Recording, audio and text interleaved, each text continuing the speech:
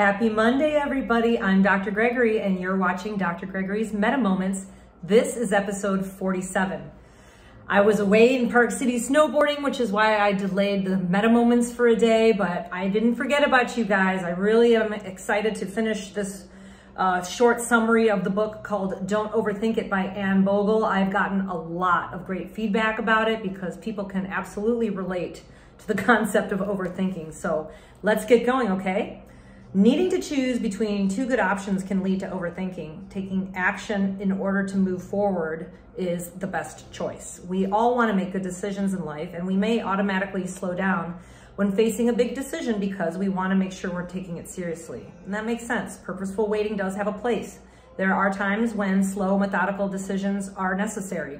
So let's say you're trying to deal with a difficult family member or whether you should go back to school or afford to buy a house, then time may be exactly what you need. But at a certain point, waiting time does become wasted time. We think slowly, moving slowly will help us, but then we spend so much time considering our options, we get stuck in this analysis paralysis. And we need to remember that important doesn't necessarily require slow. There comes a point when a decision doesn't need any more thought, and past this point, we're overthinking it. We don't need to keep pondering. We need to speed up and make a decision and take some actions. When we're facing two good options, we don't need more time. We need to move on. So don't, don't beat yourself up, basically. Sometimes we slow down because while we have moved forward externally, we haven't moved forward mentally or emotionally, and it may look like we've sped up, but we're actually just wobbling inside. We know we need to move forward, and we must do it with our whole selves, body and soul. Don't wallow, don't wobble, move on. Okay, so you can make only so many decisions in a day. Look for ways to clear your mental clutter. Ooh, this is very interesting. Each decision we make throughout the day takes a toll on our finite amount of mental energy, what to have for breakfast, which route to take for work, what, how to handle a tricky conversation, whether to buy new jeans, how our child will get home from practice on Friday. Each decision does require a bit of brain power, but the cumulative effect is large. The more choices we encounter, the more likely we are to, to succumb to decision fatigue. So this is a state where we become exhausted from making a decision after decision and our ability to choose breaks down. Unless we're on guard, we may not consciously notice that decision fatigue is creeping in. When we're physically tired, when we know it, we can tell we're short on sleep or worn out from a hard work workout because we can feel it in our bodies. But decision fatigue can be very sneaky. Instead of feeling specifically tired in a certain way, we just feel overwhelmed. Wow, this is a really interesting concept. Okay, how can we overcome this? To avoid decision fatigue, it helps to think out of our mental energy as we would a budget and more aptly per diem. We can't make decision after decision without decision without paying a price. So the more decisions we make in a day, the worse the quality of our decisions will be over time. Wow, that's very interesting.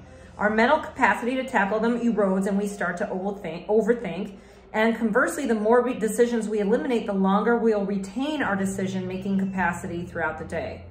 Strategies to streamline decisions. Okay, I'm waiting to hear this one because I want to know too. Let's explore. Eat the same thing. Okay. It's remarkable how many decisions we face every day about food and meal times play a huge role in our rhythms of life. So we streamline these things and we'll save big. Number one, adopt a, or adopt a signature dish. This is a reliable recipe you're always to prepare to make for friends, and that way you don't have to spend your mental energy deciding what to serve. You don't have to worry about choosing or how to execute a new recipe when guests come over. Instead, you can fall onto your regular routine, at least as far as the food is concerned, and focus on your friends. Limit yourself to one time. So if you find yourself constantly thinking about how to fit something into your schedule or when to fit it in, limit your options by establishing a set time uh, a set time can help. Committing a set time is hard for some people, but once that time is set, you don't have to think about it anymore.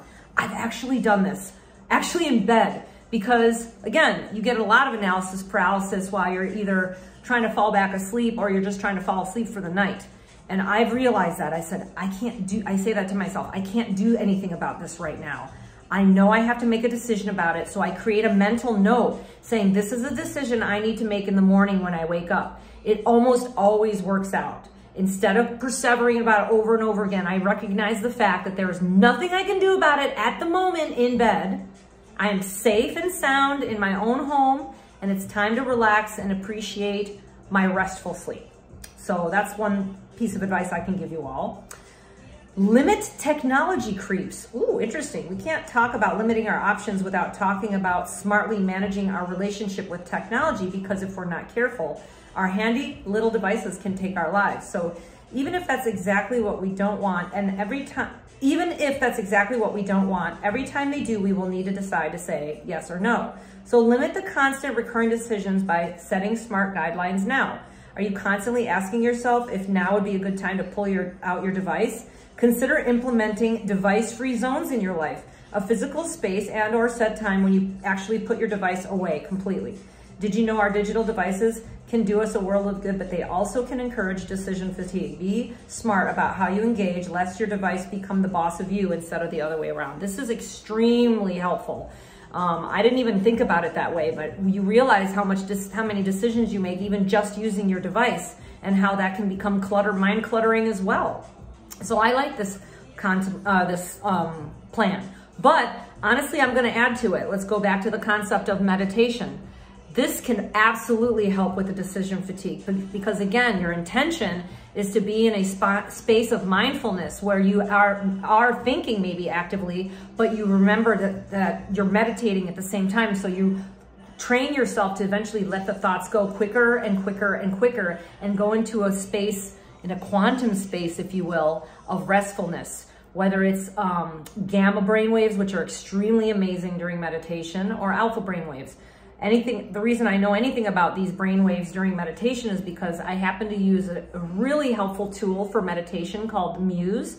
And it's a headband that I wrap on my forehead and it um, um, actually tracks the signals of my brain from right near my ear and my forehead, and it will tell you whether or not you are in a meditative state or if you're more in an alert state. And it actually scores the quality of your meditation uh, over the course of time. And how it does that is by giving you sound signals. So you can choose a background sound. It could be fireplace, it could be beach, it could be river, thunderstorm.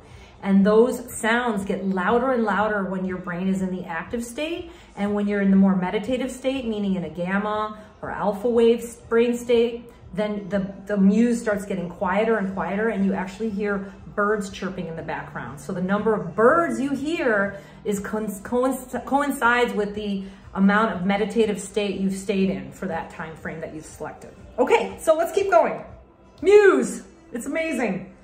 When things beyond our control inevitably happen, we tend to change course and we, we need to change course and we have to do it fast.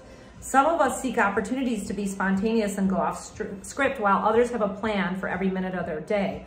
Whether we're go with the flow by nature or preferably a carefully crafted routine, life can force us to improvise. Things beyond our control inevitably happen and the sitter cancels, the rain necessitates a change of plans, the power goes out, and we have to pivot in the moment. Making the best of the situation, we have to change course and we have to do it fast. Why not seize the pleasure at once? How often is happiness destroyed by preparation, foolish preparation? Quote from Jane Austen. I love that. In fact, that comes from a source of expectation, doesn't it? And that was something I struggled with most of my life, and I still do to a degree, is when I set too much importance or focus on an expectation, I used to be destroyed by it when it wouldn't happen or come to fruition in the way that I had, quote, expected. So I've really worked on that. In fact, it's been my focus on a daily basis to work on my adaptability in life in general, to be able to go roll with the punches, go with the flow, and understand that schedules change all the time, which is absolutely the case when you run your own business. okay, moments when things go sideways often feel like something we have to survive. Any kind of time-sensitive situation where we have to make a choice right now is ripe for overthinking and decision paralysis. We can't pre prepare for every situation. We can plan for things going awry as they certainly will, and an unexpected turn of events may throw us into a momentary disarray, but if we push through it, this messy middle of renegotiating our decisions, we can find joy on the other side and the trick is knowing how to get there. I've absolutely done that. I've made plans for something and they did not work out the way they were. And usually it was something social, let's say. They did not work out the way they we had planned. But suddenly we made an ultimate decision that sounded really good at the moment and we had a much better time with that uh, spontaneous decision than we ever would have with the planned one. So when it's clear a decision is needed to move forward, the worst thing we can do is not act. Keep going. Make a choice. Any choice. It's better than staying stuck debating the options. Just pick something, anything. And pick something that feels better. Pick something that doesn't make you hesitate. It's better than doing nothing. And besides, things that don't unfold according to plan often make the best memories. Again, absolutely. Miracles don't happen in your known world. They happen in the unknown. So when you embrace your future with love and faith and not fear and doubt, you are embracing the possibility of miracles happening. You are embracing the possibility of joyous creation, joyous manifestation.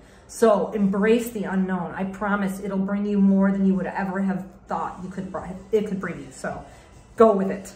Lean in and expect good things. I love that. Our perspective impacts how well we deal with the situation at hand. And when we perceive the stakes to be really high, we're more likely to freeze, especially if we're prone to perfectionism. So when spontaneity strikes, it's helpful to purposefully adopt a low stakes mindset. Stop, strive to choose, don't strive to choose that ideal option. We can choose a good one and remind ourselves that the best memories come from when something starts with going wrong. Seriously, Go with that perception. It's really about your perspective instead of becoming devastated and withdrawn and frustrated and resentful that it didn't work out the way you had hoped.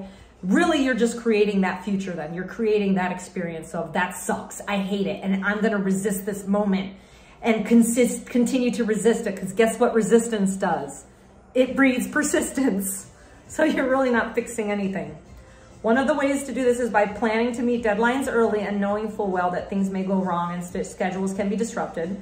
When we're prepared, we can seize opportunities as they present themselves and they can, whether they, when they're thrust upon us. So like showing up at the airport early, that's happened to me a few times where things could have gone awry. Like yesterday, we were sitting at the wrong gate, but we were so early, about an hour and a half in, I looked up at the gate and realized it wasn't heading to Phoenix, our hometown.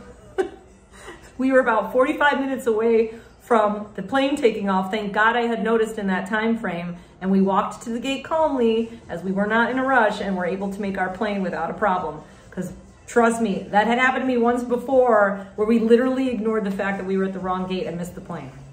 Did you know when faced with an unexpected moment of decision, it's easy to freeze?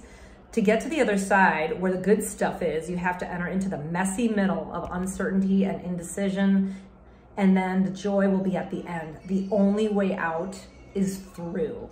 So the conclusion is when we don't recognize our overthinking behavior for what it is, it's impossible to get over it. I love that. Because again, when I started reading parts of this chapter to you guys, I realized that some things, including using technology, can be a source of overthinking. As long as we rely on decision-making styles that encourage overthinking, we're gonna spend a lot of time overthinking. Once we see what's really going on, we will begin to change. So awareness is always the first step. It will feel like a battle at first, and we've been analyzing things to death our whole lives, but with time, it will feel like, like a habit and a good one. So describe yourself differently. Try that. Describe yourself differently. Here are some suggestions. The way we see ourselves has enormous implications for how we live our lives. Stop describing yourself as a chronic overthinker, rather as someone who is capable of experiencing less decision angst, and more joy and peace, someone who can learn to make confident, competent decisions, someone who doesn't need to habitually second guess themselves, someone who is learning how to filter out the unimportant, unhealthy, and unhelpful, someone who is developing strategies for stopping overthinking in its tracks, someone who is becoming equipped to gracefully pivot when things don't go as planned, and lastly, someone who can put overthinking aside to welcome good things into their lives. And Bottom line is you can do this. It starts with awareness and the words I am are extremely important. That is how you perceive yourself. And what follows after that is also extremely important. Thanks for watching, everybody. This was episode, I think, 47 of Meta Moments. Love you guys. Happy Monday.